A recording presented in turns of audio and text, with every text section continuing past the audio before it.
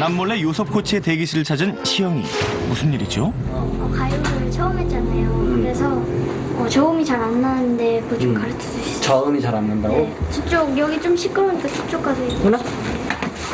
아 진짜. 얘들아 힘들어하는 시영이를 두고 너희들은 뭐 하는 거니? 아 surprise로 요섭 코치의 생일 파티를 준비하고 있었구나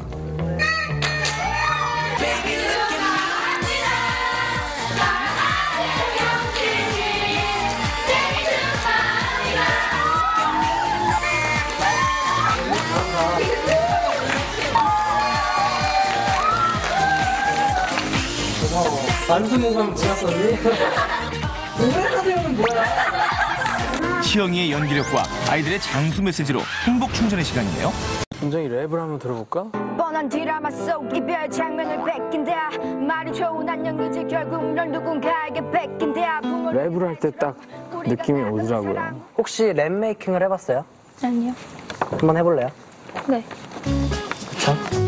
할수 있을 거라고 생각을 하고 정말 자신 있게 내라고 했거든요. 근데 이제 딱 나와서 이제 볼펜을 드는 순간 머리가 깨지는 줄 알았어요.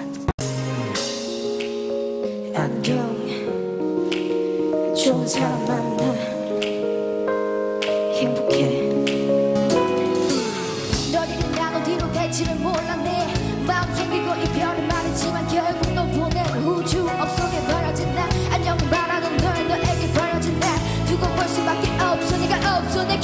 이렇게 내 사랑 자 우리 양현석 코치 이제 결정을 해야 됩니다. 네 일단 은정 양에게 정말 칭찬을 해주고 싶은 게 있다면 네. 방금 했었던 랩이 본인이 직접 쓴 랩이에요. 아까 은정 양이 했던 랩이요? 네네네. 만들어준 게 아니고 저는 가사를 네. 그렇게 잘 쓰지 못해요. 어머나 너무 멋있었어요. 그리고 감사합니다